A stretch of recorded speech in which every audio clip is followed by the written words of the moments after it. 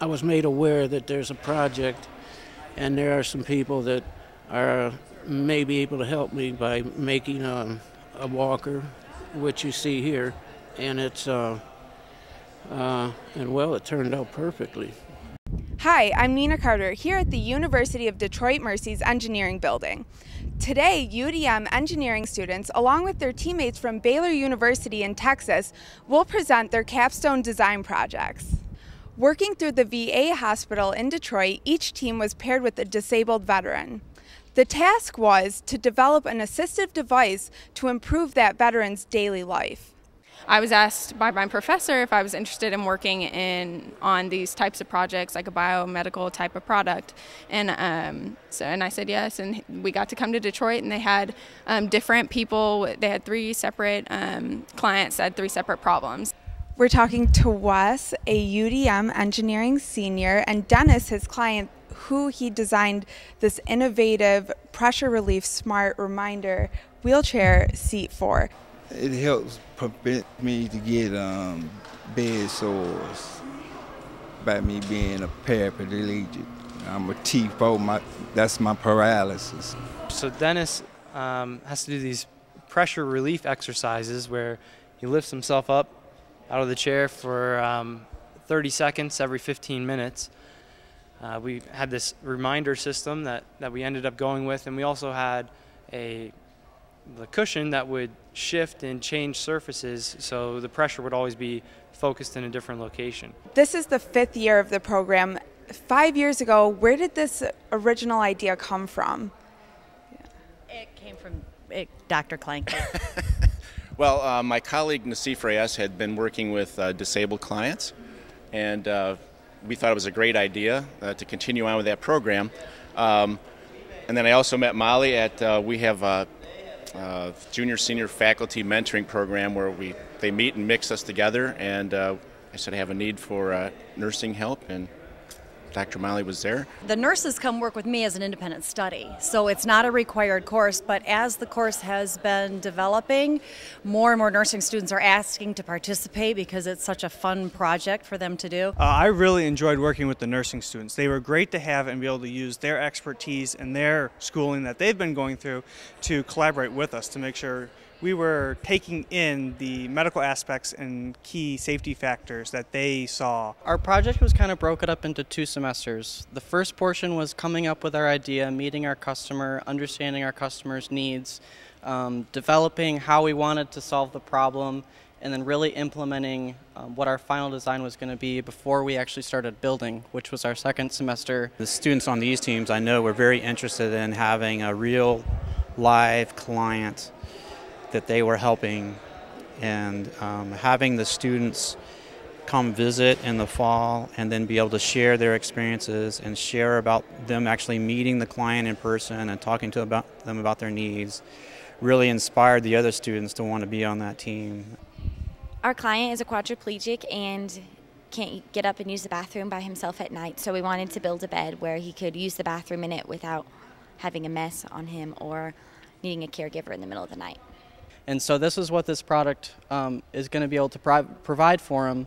So the bed portion is um, controlled with this lower track, which is able to recline and incline him, um, which is also serving the needs of his in-home care nurse by helping him be able to get in and out of bed easier, um, and then being able to clean him up more easily with a bedpan system that instead of having to change his sheets and clean him up.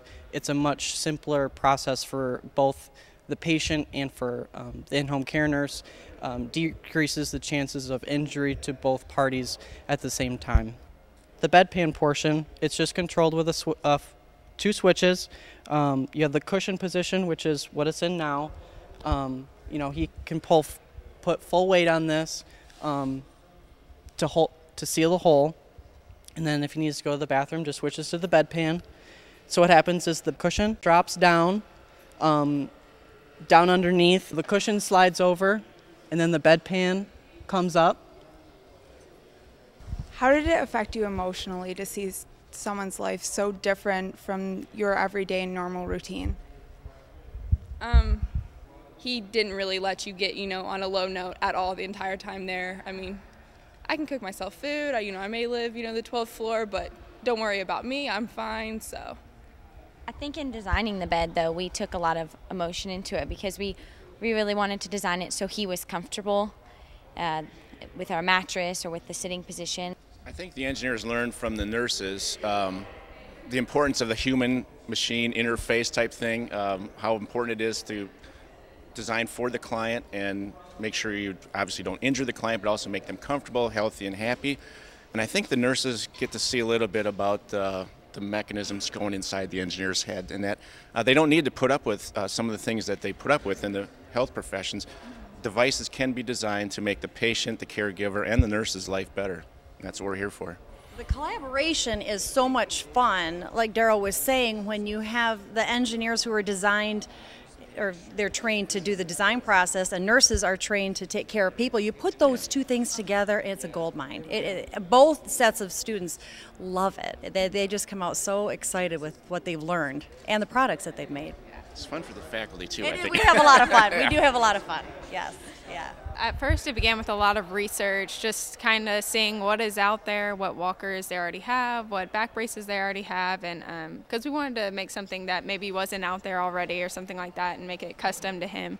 Back in the fall, we probably met um, once a month, but then this past semester we visited each other a lot more frequently, probably about every other week. Um, bringing him updates and always getting him feedback because in the end he's Dennis is the most important person in this project, making sure that he's happy with the product that comes out in the end. And I am happy too.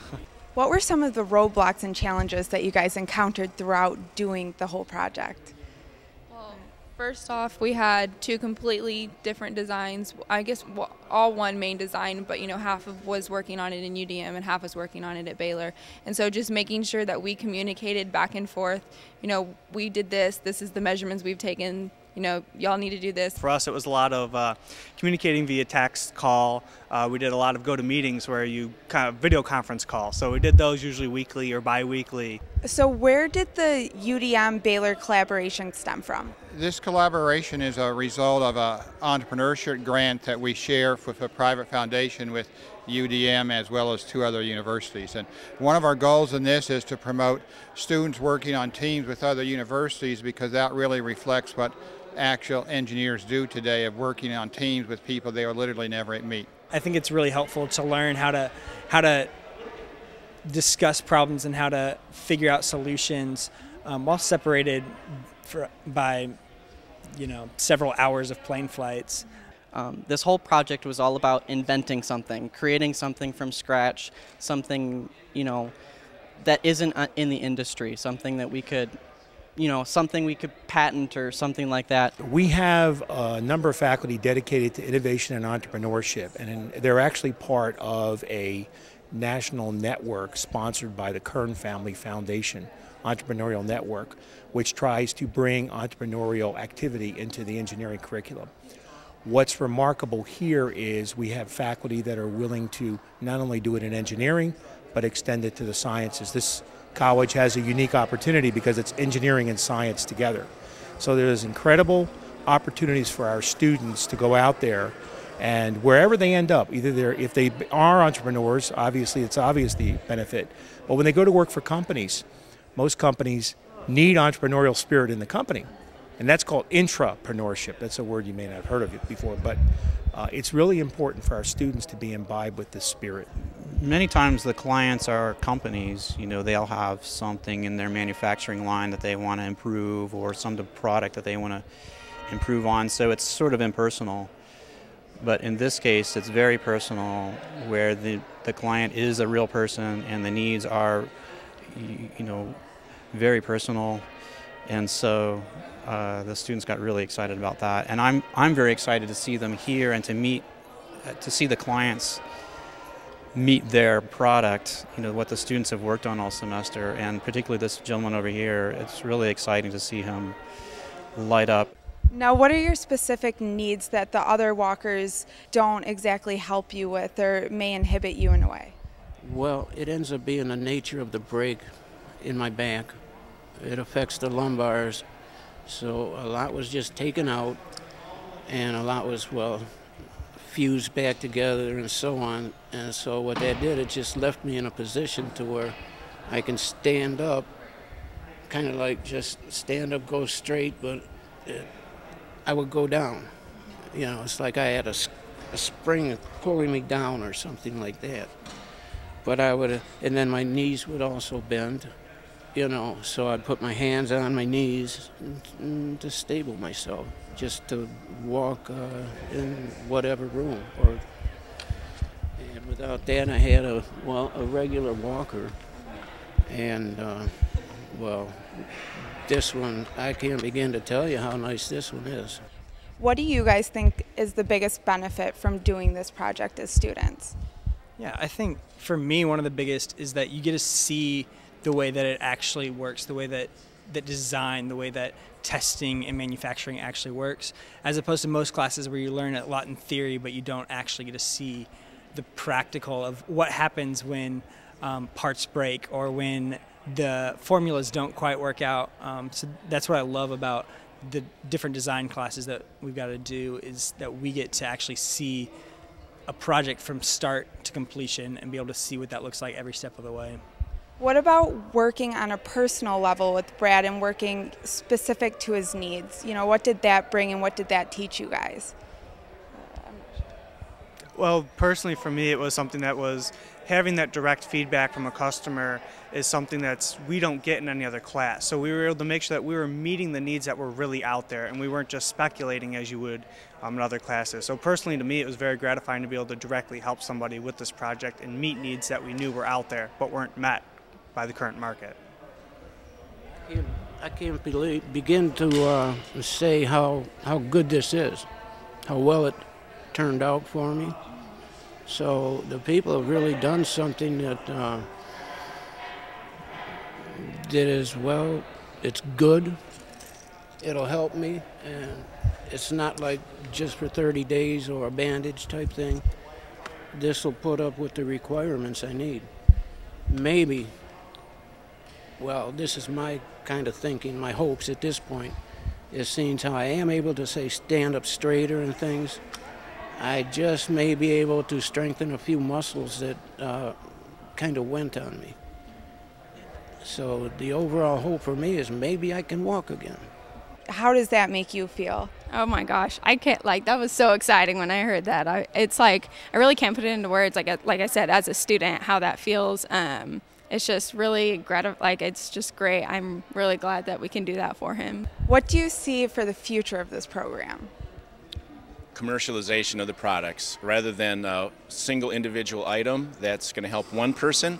Uh, products that can go into the marketplace and help a lot of people. In fact, uh, we're very happy. We're just talking about uh, two of our student teams are going into a venture capital uh, development program where they're going to try and develop a business around the product they designed in this course. So, and the team includes engineers and nurses. Yeah. We were speaking earlier about that innovative spoon. Can you tell us a little bit about that? um, yeah, um, the spoon was designed uh, based on a client that uh, Molly found, and maybe you can tell them a little bit about it. But uh, the end project was, uh, you know, a spoon that will help him eat soup, and uh, the engineers have now refined that a couple of uh, iterations from from original prototype, and that product we think is going to lead to a real viable marketplace. So we hope to start we, we hope the team, the student team, starts selling some spoons this fall. This it was a spoon that was designed for a client who had been severely burned. He's a native Detroit man. He he um, got burned and his fingers were burned off, and he also has really bad contractures, which burn patients tend to get. And he wanted to go out in public and be able to eat because he he can't move his hands and he he only has a little tiny baby thumb. So we designed the spoon for him. Um, However, it has wide applicability for, for Parkinson's patients who move all the time, for toddlers. And so this spoon is has the ability for anybody who has difficulty eating any liquid to be able to do that in public, which is really exciting. So that's that's kind of where we're at with that spoon project. So, and we're hoping. What, yeah. One of my favorite stories in that project is uh, Dr. Melly brought the client in for the first time, and our engineers ran over and started looking at his wheelchair, uh, what kinds yeah. of things are on it, and um, yeah. And that's the really that's another fun thing about having the engineers and nurses work together is when we introduce them to clients. Sometimes our clients um, physically look different than than an able-bodied person.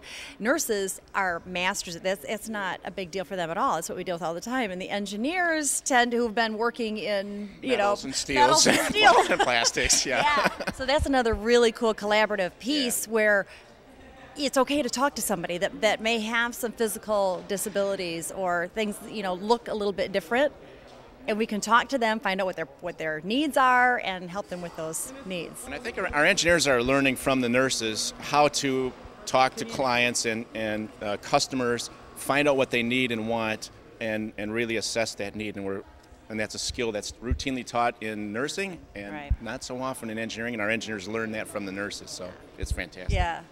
Every time, every time we come over and meet with Dennis, we bring buddies. Uh, you know, we were always there there on business, you know, to get get get work done. But um, but after you know, we got through with our business, we had a little piece of. Yeah, you know, we've become you know, we've become pretty good friends right. through this whole thing. So you know, we we'd have to hang out every day too. And so just to see that you know these four years of engineering actually come you know, to a huge project and actually see, you know, you take the theory base and you take your homework problems and, you know, you take your lecture time and put it into an actual product that someone's going to use is just, you know, a great feeling at the end of the day when everything works so nicely.